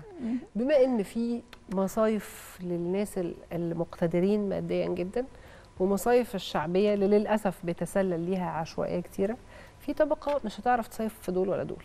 دول بيروحوا فين؟ وده محتاجة منه محتاجة سؤال وإجابة من حضراتكم يعني من دكتور سعيد ومن أستاذ داليا إنه في 6 الطبقه الوسطى تروح فين؟ في كوبري 6 أكتوبر تقعدي كرسي ويجيب لك ح- ح- بتاع ده حمص الشام. لا حقيقة يا دكتور. هو هو لا، حقيقي لا. لا هو حقيقي في شواطئ بلاجات عامة بس المشكلة إن هي لا تحظى بخدمات آه، آدمية للناس يعني ممكن الشاطئ بيبقى موجود بس آه، أجرد خالص ما فيهوش مكان لتغيير الملابس ما فيهوش آه. آه، آه، مية لو حد معاه وبرده أطفال الشاطئ العام ده مش هيصلح لطبقة في متوسطة البسين بتاع هو ده. مش هيصلح لمدرس. ومحاسب و آه، بس رحلة وموظف. اليوم الواحد يروح يوم واحد ويرجع آه ياخد لي غطسين وشوية سمك ودنك راجع يعني كمان تغير شكل المصيف اللي هو الأجازة يس. الطويلة دي بقت على قد ما الضغط. اللي عمل دلوقتي يمكن 60% من الشعب المصري بيشتغل أكتر من شغلانه. عشان مرتبك قليل فالمبلغ اللي بتاخديه يديكي فرصة وما تقوليش طبعا آه، إنك تاخدي أجازات طويلة طويل. يعني الأجازات القديمة إنك أقعد شهر كامل دي مرة واحدة والعيلة وكلها صعب أنت حتى لو أنت فاضية جوزك مش فاضي الولاد مش فاضيين. ده مش فاضيين العيلة مش فاضية. فممكن تلاقيه متقطعة. فالطبقة المتوسطة يا إما إنها تروح بعض الفنادق في القاهرة اللي فيها بسين. أو بعض النوادي أو بتروح آه، رحلة اليوم في أي حتة بقى أروح اسكندريه اخد لي غطسين وداني راجع إحنا يعني هيفضل السؤال الكبير إنه إمتى نشوف في مصر زي ما هو موجود في أهم مصايف العالم؟ شاطئ عام يساع الجميع.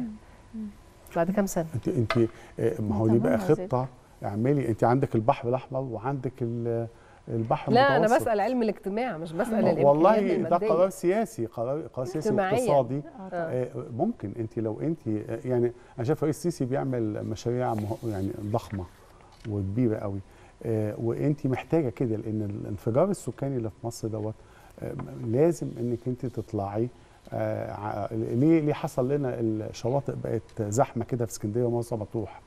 لأن ال- العدد الضخم آه، رهيب. الهجرة من الكثافة السكانية. عالية جدا أعمل إيه؟ الحقيقة. فأنت محتاجة إن يبقى في تخطيط للمصايف والشواطئ الأخرى سواء ال- البحر الأحمر توسعيه أكتر طبعا للناس الأغنياء زي ما هم ماشي ما فيش مشكلة اعملي برضك شواطئ تانية بحيث إن اللي في الصعيد بدل ما يجي من من أسيوط ولا مش عارف يروح إيه البحر الأحمر يروح. البحر الأحمر ما جنبيه أقرب له إحنا وقتنا خلص بس أستاذة داليا لازم تقول لي عايزة إيه من السائح. اللي رايح إسكندرية يعني أو الساحل ال... ال... ال... مش مش, قادره اسميه الساحل شط المصطف اسكندرية هو طبعا أنا يعني أنا اولا بشجعهم يستمتعوا باسكندرية ده يعني أنا اسكندرانية طيبة صدقيني يعني هو بس. فعلا. آه، أنا هقول لك يعني مهما تروحي أي شط فعلا شط اسكندرية هو حلو. نمبر 1 بالنسبة لي يعني آه، الفكرة إن هو يحافظ على المكان آه، ويحافظ على أهل المدينة يعني أحيانا بيحصل تنمر ما بين المصطفين وبعضهم. هي دي المشكلة وبين أهل المدينة. آه. آه، فدي برضو حتة ال- ال- السلوكيات دي محتاجة مننا شوية شغل طبعا علماء الاجتماع والباحثين. يعني دي مهمتنا الحقيقة. بشكرك. بشكرك أستاذة داليا عاصم الكاتبه والباحثة المتخصصة في تراث مدينة الإسكندرية نورتينا. وشرفتينا. ويا رب إسكندرية تفضل دايما عامرة بأهلها يا رب وتفضل. مفتوحة للكل لأن. أنتوا إحنا لازم نقول. إسكندرية نفرح كده لوحدنا. طبعا طبعا. وبشكر دكتور سعيد صادق أستاذ علم الاجتماع نورتنا و... وعلى الرغم من كل شيء هيفضل عندنا أسئلة مش متجاوبة. علم الاجتماع لازم يجاوب لنا عليها. شكرا يا دكتور. هيفضل السؤال مفتوح. إذا كنت تريد السعادة فبتهيألي إنه سكة السعادة غير سكة اللي كل الناس بتعمله. اللي عايز يبقى مبسوط ومرتاح وياخد أجازة لازم يختار حاجة بعيد عن ال- الج- الجنون العام اللي حاصل في أجازاتنا كمصريين اللي لازم نراجعه. بعيدا بقى من كل التعب والدوشة دي بعد الفاصل هنتكلم عن حاجة حلوة قوي قوي قوي قوي بكل المقاييس. مش بس إن فيلم مصري ياخد آه، جايزة عالمية في أهم مهرجانات العالم لكن كمان بطلة مصرية من قلب صعيد مصر بقت بطلة لفيلم عالمي هتكون ضيفتنا آه، تقلي كتير. عرفوا إحنا بنتكلم عن فيلم ريش اللي حصد جوائز في مهرجان كان جايزة النقاد وضيفتنا في الفقرة اللي جاية آه، دميانة نصار بطلة الفيلم. وأيضا آه، يوستينا سمير اللي كانت مشرفة على تدريب الفريق وكانت ورا آه، آه، فرقة بانوراما اللي دربت كل أبطال الفيلم. وبالتأكيد كلنا عندنا أسئلة إزاي الفيلم ده وصل لكام؟ بعد الفاصل.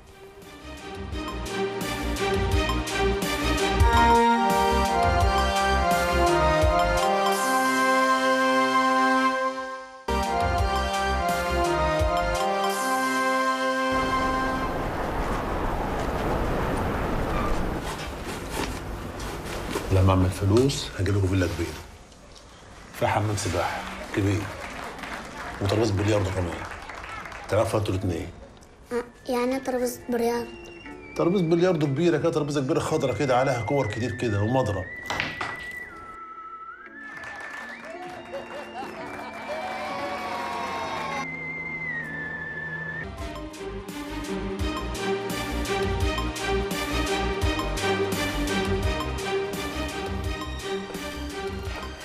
مساء الخير عليكم مرة تانية. بكل المقاييس حاجة غريبة. غريبة بس حلوة مش كل الحاجات الغريبة وحشة بس في حاجات غريبة حلوة. فكرة الفيلم غريبة. الفريق اللي ورا الفيلم وإيمانه بالفن طالع من قلب الصعيد اللي إحنا طول الوقت نقول إنه في ثقافة وحضارة آلاف السنين. آه غريبة علينا إن إحنا نصدق إنه في قلب الصعيد في ناس أشطر عشرات المرات من الناس اللي بتتدرب وبتاخد ورش في أماكن كتير. آه طبعا غريبة لكن حلوة. آه دميانة بطلة الفيلم اللي كل انفعالاتها وهدوءها ومواقفها وأدائها يقول لك إنك قدام فنانة محترفة في الأداء آه غريبة بس حلوة. كل الحاجات اللي في الفيلم فوز فيلم ريش الفيلم المصري بجائزة النقاد في مهرجان كان حاجة حلوة جدا جدا تستحق الاحتفال. كل التحية لمخرج الفيلم عمر الزهيري اللي مش موجود معانا النهاردة للأسف لكن معانا البطلة وكمان البطلة دميانة نصار. أهلا بيكي أهلا بحضرتك. إزيك؟ منورة يا دميانة ده نور طبعا. ومعانا يوستينا سمير مؤسسة فرقة بانوراما اللي دربت الأبطال الفيلم وأصلا الفرقة نفسها في حد ذاتها اختراع. إزيك يا يوستينا؟ إزيك؟ أهلا بيكي أهلا بيكي يوستينا الأول احكي لي آه أنتوا فرقتكم اسمها المفروض إنها من 2014 مش كده؟ آه 2014 يعني عشان يعني ده ده درس كبير لينا اللي إحنا مش فاهمين حاجة ومش عارفين إن الصعيد فيه مواهب كبيرة كده. احكي لي عن الفرقة واحكي لي أنتم بتشتغلوا في إيه وعملتوا إيه قبل كده. هو إحنا برضو كان عندنا مشاكل في في القرية أو يعني حاجات خاصة بالبنات أكتر. قرية البرش قرية البرش آه. في المنيا. آه وعندنا في يعني في بنات كتيرة موهوبة. هو في المسرح وإحنا بنحب المسرح من وإحنا صغيرين. آه. ففكرنا إزاي نوصل لكل الناس دي وازاي البنات تعبر عن رأيها وان الناس تسمعها. جربنا مثلا تقريبا سنتين. إن إحنا نعمل فقاعات وندعي ناس والكلام ده كله حسينا إن هو مش ده اللي إحنا عايزينه في آه. حاجة أقوى إحنا عايزينها نوصل للناس مباشرة مم. ففكرنا في فكرة مسرح الشارع دي مم. وكان عرض كنا أول عرض عارضينه كان اسمه محكمة القرية ده كان عرض هو اللي كان صادم وهو اللي شفنا فيه بلاوي بجد انتقاد آه. يعني ناس انتقادات كتيرة مم. وهو العرض أصلا كان جريء إن هو بيحاكم القرية يعني البنت بتحكم القرية مش القرية اللي تحكمها ان هي وصلت لعنف وصلت لزواج مبكر وصلت آه. لاختان لتحرش فالموضوع كان صادم على الكل حلو قوي آه ف... فالعرض ده يعتبر خدنا انتقادات كتيرة. وكنا خلاص اللي هو يعني كان الموضوع عارفة اللي انت بتقوليه يا يوستينا ده هو تعريف الثقافة هو أنتوا كده آه. بتعملوا ثقافة صح ما إحنا إحنا بصي هو إحنا كنا صعب. حابين كده آه. يعني آه. إحنا كنا حابين إحنا عارفين إن الموضوع هيكون صعب. وعشان صعوبته إحنا عارفين ان هو هيكون في مشاكل كتيرة ولازم نتحداها مم. ولازم يكون في اصرار ان إحنا بنحلم بحاجة يعني المنيا اللي بيقولوا انها فيها تطرف وفيها افكار كتير صعبة أنتوا بت بتمثلوا فرقة فيها ستات آه ستات وبنات و... وإحنا اساسنا أصلا أساس آه. الفرقة بنات يعني آه. إحنا كانت فكرتنا ان ده مكان البنات هي اللي تعبر فيه عن رأيها وعن حر... وعن مشاكلها وعن يعني عن الحاجات اللي هي عايزة تقولها من جواها من غير أي خوف من غير ما أي حد يكلمها أصلا انك إنكم تؤمنوا بده وتعملوه وتقاوموا أنا قادرة أتخيل كمية التحديات. طب أسأل أم ماريو. أم ماريو انت دلوقتي آه، متجوزة ومخلفه آه طبعا. مين كان بيوافق يسيبك تروحي التدريبات. وتقعدي تعملي مسرحيات؟ جوزك آه، كان مشجعك؟ لا هو أنا ما عملتش مسرحيات. آه. بنت مع الأستاذة يستينا زي ما قالت لك على برنامج برشا. آه. بتروح معاه يعني, يعني بنتك اللي بنت- بتروح. آه بنت كبيرة عروسة برضه. طب انت مثلتي إيه قبل كده؟ لا أي حاجة ما أنا ما دخلتش في أي تمثيل. أنا أول مرة لا أمثل. معقول. أول مرة أمثل. ف ده أنا قلت أول مرة تمثلي في حاجة معروفة لكن أكيد يعني اتدربت. لا ولا اتدربت ولا سبحان الله يعني؟ ربنا كان واقف آه. معايا. في ده إيه كل. الموهبة الحلوة دي؟ فعلا؟ آه فعلا صح. بكلمك على الحقيقة يعني. لكن بنتك بتروح تتدرب مع أستاذة يوستين بتروح أيوه. بقى لها سبع سنين معاها. وما تقولي لهاش لأ. لا. ما تقوليلهاش لأ ده تضييع ده وقت. حاجة ده حاجة حلوة يعني, آه. يعني الإنسان لما يبقى عنده موهبة بس عايز حد يتكشفها له. فهي حابة كده كنا سايبينها براحتها. أنت مين اكتشفك بقى؟ الأستاذ عمر طبعا. أستاذ عمر؟ آه بشكره كتير قوي يعني. آه. هو ده يعني لما جو قاعد ي- يدور على شخص اللي هو يقوم بالدار دواتي. اول ما قعدت قصاده. فسألنا على شوية حاجات كده ف قال لي أنت اللي هتقومي بالدار ده. قلت له يا أستاذ عمر أنا مش متعلمة. قال لي عادي ما فيش مشاكل. مم. مش مش بالعلام يعني. آه فلما عد خلاص كده إحنا اتفقنا قال لي ده انت هتروح القاهرة يا أم هايدي. قلت آه. له عادي يا أستاذ عمر أروح ما فيش مشاكل. ده ده إيه الحلاوة دي؟ السعيد آه، اتغير فيعني ده أنا قلت هتقولي لي وخناقات بقى وجوزي قال لي لا و... ما حصلش بالعكس الكلام؟ جوزي إنسان حلو يعني مثقف يعني ما يفهم الحاجات دي. آه. يعني قال لي ده مش عيب ولا حرام طبعا. وخدت الله. رأي إخواتي. وأهلي. يعني واللي هم أقرب الناس ليا أكتر. خدوا- آه شجعونا طبعا بس اللي شي... اللي شجعنا أكتر الأستاذ عمر. دي حضرتك عشان اللي هو قال لي اللي أنت مثلا مش متعلمة أو مثلا فأنا حطيت في دماغي عادي طالما مش متعلمة وقال لي كده يبقى خلاص مم. صدقتي أنت صدقت. اللي هو أنا- صدق فيكي. وانت صدقتي آه مم. أنا حاليا ارتحت له أول ما شفته الصراحة آه. يعني كان نفسي أنا أكيد هو شاطر إنه عارف أيوة. يجمع. هو أصلا. أول ما شاف ملامحي قال لي هي دي. آه. أنت هتعمل كذا وكذا. قلت له ماشي يا أستاذ عمر فجينا اتفقنا. وفيها كل التعبيرات الحلوة. وعاجبني فيكي إنك راسية كده يا دميان عارفة؟ طب. ما اتغرتش برضو بالشهره يعني جميلة وحلوة كده. جدا. طيب. قعدتوا قد إيه في القاهرة؟ قولي لي يا يوستي إحنا قعدنا تقريبا شهرين ونص مثلا. آه، بس ما كانتش كلها طبعا شغل تصوير وكده. كان آه. بيبقى في إجازات في النص عشان تغيير الأماكن وال- وبرضه كانت راحة بالنسبة لنا إحنا وكده. فبس هو التصوير كله كان 30 يوم تقريبا. 30 يوم ده كتير. آه. يعني الفيلم طويل. آه آه أيوة. الفيلم. طويل. فيلم روائي طويل. و13 دقيقة. آه.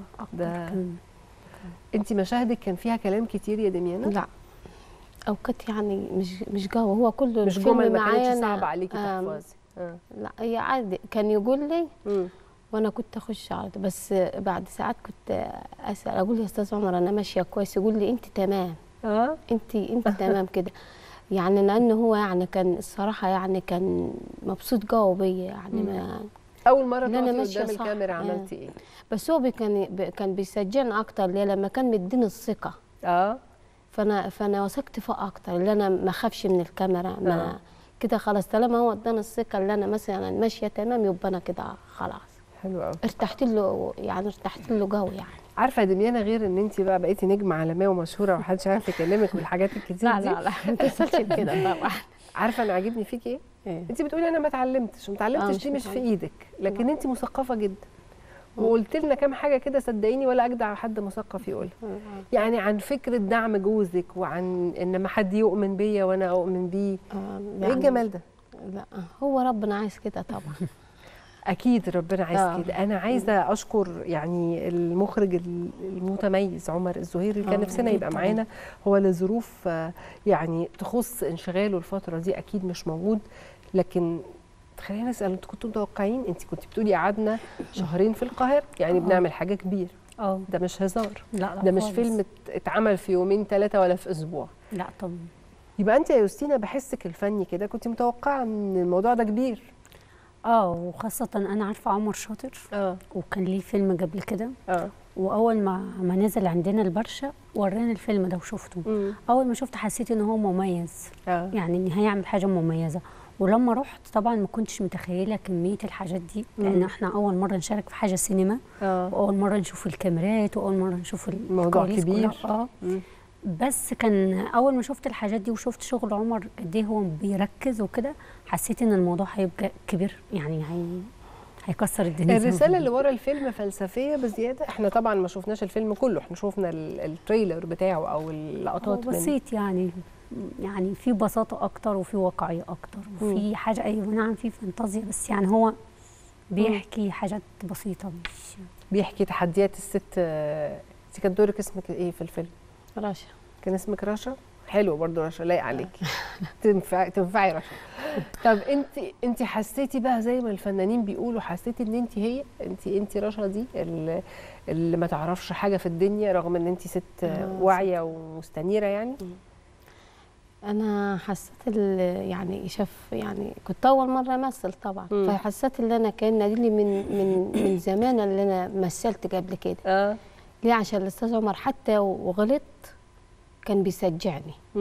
عادي عادي ما فيش لا كده أنا كل ما هو يشجعني أنا أنا أرتاح أكتر. ترتاحي أكتر أيوة. وتبقي على طبيعتك وأبقى على طبيعتي أكتر. مم. يعني كان بيساعدني يعني هو اللي كان واقف معايا في كل حاجة يعني. هو اللي بيوجهني اعمل كده حاضر اعمل كده حاضر. طب غششينا حاجة كده من الفيلم. النهاية البطلة يعني في الآخر يعني ات- ات- اتغلبت على الظروف الصعبة دي إزاي؟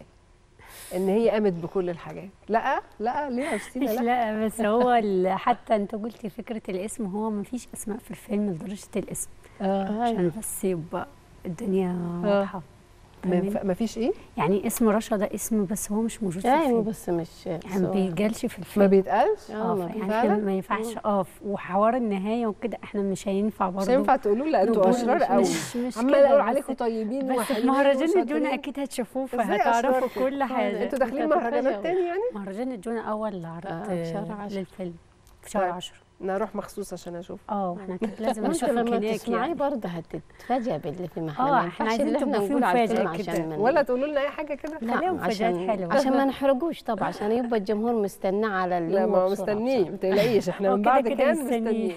طب انت لما عرفتي إن الفيلم كسب في مهرجان كان كنت عارفة؟ يعني كنت عارفة إنه داخل المهرجان طبعا صح؟ أنا كنت عارفة داخل المهرجان بس ما كنتش أعرف اللي هو مهرجان كان اللي هو أهم حاجة- مهرجان سينمائي أيوة. في العالم أنا لما عرفت الخبر يعني جي ابن من بره صراحة. قالوا لي الساعة 3 قعدت للصبح كنت مبسوطة قوي صح صح. آه، اتبسطت ليه عشان مصر طبعا وعشان الشعب يبقى مبسوط لا، أنتوا. وعشان. الأستاذ عمر بقى هو يستاهل اللي هو اللي هو فيه دوات وأكتر من كده كمان الله أنا حبيته من كلامكم عليه شكراً صدقوني. والله ده إنسان محترم جدا جدا. الجهة المنتجة للفيلم مين؟ آه، هو محمد حفظي. آه، تلانجو وغير كده في محمد حفظي. آه وفي لا إنتاج كتير يعني في فرنسي في كذا اللي كان. معاه آه يعني هو. إنتاج مشترك؟ آه آه إنتاج مشترك. حلو قوي. ودي وده معناه إنه إنتاج جاد. أنت ما قلتي محمد حفظي وإنتاج مشترك يعني إنتاج جد إحنا متوقعين إن إحنا نشوف حاجة آه، بالمناسبة. مفيش مهرجانات بتدي جوائز بالحجم ده مجاملة. أنتوا أكيد آه، احتفلوا بيكوا إزاي طيب؟ احتفلوا بيكي إزاي يا دنيا؟ امبارح آه، الأستاذة ياسين عملت لنا عملت لي حفلة حلوة. والله حفلة صغيرة في البلد. حفلة بس صغيرة كده على قد الليل. صغيرة إيه؟ إحنا عندنا حفلات كتير. إحنا بنعمل حفلات أكيد كتير بس إحنا زي بدأناها الحفلات نبقى في. حفلة في البرشه كده يعني آه، حلو في. مكاننا. حتى يعني عند البرشا لما أخذها في الكلمة يعني مبسوطة قوي. بتنزل لي كلام حلو وكاتبة لي حاجات حلوة. مين؟ أهل البرشا. يعني أهل البلد البلد؟ آه أهل البلد صدقيني غيرتي لي الصورة ده أنا شايفة إن المنيا آه، الناس شديدة قوي. لا لا. و... ولا الحاجات دي موجودة بس أنتوا بتتغلبوا بس عليها. بص في حاجات كتيرة موجودة. آه. يعني مش كل الحاجات اللي هي وردي. آه. أكيد مش وردي. بس على الأقل أيوه كده انزلي معايا على الأرض وفهميني اللي آه بيحصل. بس لا لما بيكون في إصرار على حاجة فانت أكيد بتخلي اللي هو الحاجات الصعبة دي تت- تتجلب لورد شوية. يعني محدش بيقول لك؟ ستات إيه اللي تقف على مسرح واللي طبعا. ده, ده بيجال أكتر من كده. طبعاً. يعني بيجال حاجات صعبة. مم. بس في الأول وفي الآخر إن لو سمعت الكلام ده يبقى مش هعمل أي حاجة. آه. ولا كاني وكان ه- يعني هضيع كل التعب اللي أنا تعبته. بس الفكرة إن البنات عندنا هم يغيروا. وعندهم إصرار ان هم يغيروا مهما سمعوا كلام الناس أنت عارفة الكرة أكيد أهم حاجة السيره وسيرة الناس والكلام آه. الناس وده يعرف ده. يعني ام مريم مثلا معروفة في البلد أنا معروفة يعني كلنا آه. عارفين بعضينا. مم. فأي حاجة حد هيعملها هتبقى واضحة. حلو مين بيعمل إيه ومين شايف إزاي طب الناس. وثقت فيكوا أكتر بعد موضوع الفيلم ده؟ طبعا. أهل البلد؟ طبعا.